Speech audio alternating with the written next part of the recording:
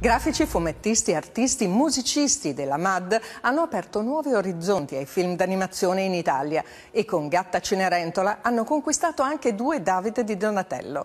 Una factory con anima ed identità partenopea ma respiro internazionale. Li abbiamo incontrati negli studi di Piazza del Gesù, nel cuore di Napoli, con Luigi Carbone.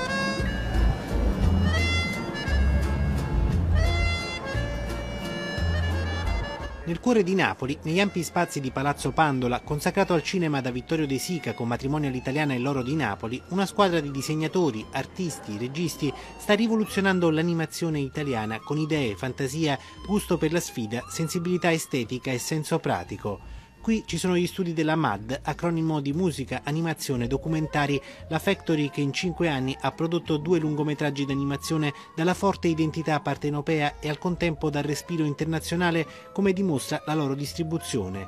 L'arte della felicità e Gatta Cenerentola.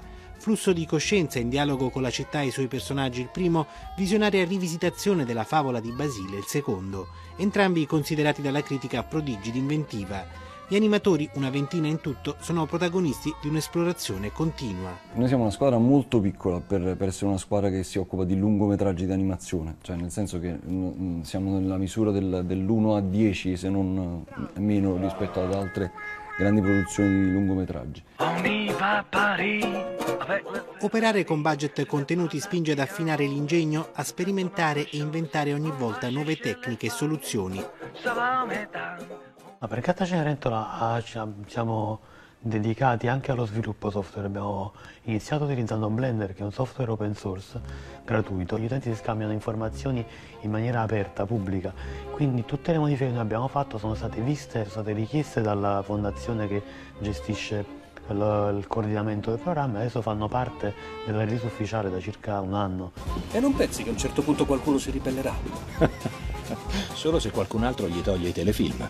Napoli è determinante per aver fatto questo, perché ha un modo di lavorare che, che, riesce a lavorare anche in maniera ficcante e determinante, però poi ha la capacità dire, di, di, stupirsi, di, di rilassarsi e quindi di mantenere buono l'umore.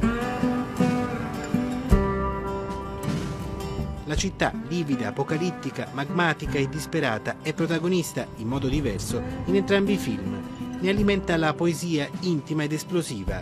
Ogni personaggio ha numerose anime e lo specchio della sensibilità di più creatori in un progressivo affinamento di estetica, sembianze, movenze, carattere. Inizialmente diciamo che sono un po' come, come Pinocchio, no? sono, sono, dei burattini che, eh, che man mano che andiamo ad esplorare psicologicamente cominciano ad acquisire una vita propria. Gli animatori lo definiscono, i doppiatori lo definiscono, l'attore quando è lì eh, e lo interpreta per la prima volta lo crea insieme a noi il personaggio.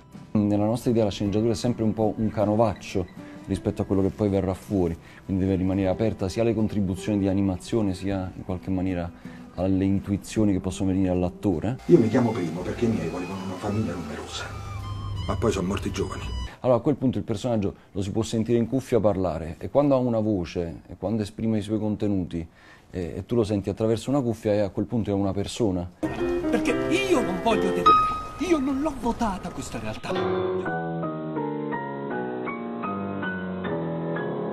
Anche noi in qualche maniera eh, filmiamo i nostri movimenti per esempio con le Kinect perché abbiamo fatto anche un po' di motion capture questo film, cioè significa in pratica riprendere i movimenti delle persone dal vero e riportarli sui personaggi. Che lei è tirchia, vecchia, vecchia e tirchia. La musica ha un ruolo centrale, motore dell'azione e sonda emotiva. Beh, la musica accompagna anche tutto il processo mh, creativo e produttivo dei nostri film. Molto spesso ha anche la capacità di, uh, di, indirizzare determinate scene o di intervenire proprio sulla, sulla sceneggiatura. E adesso abbia inizio la vera festa.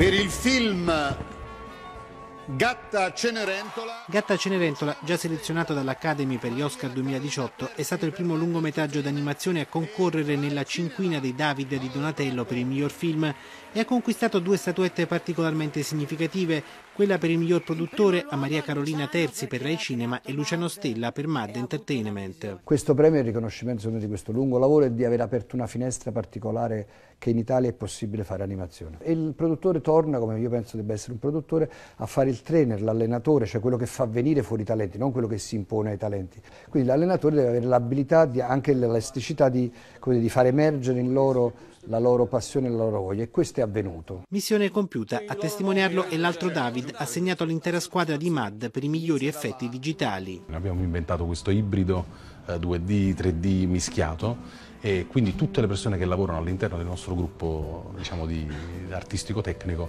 hanno tutti quanti partecipato, quindi effetti digitali mai come in quel caso è stato proprio un premio condiviso da tutti quanti.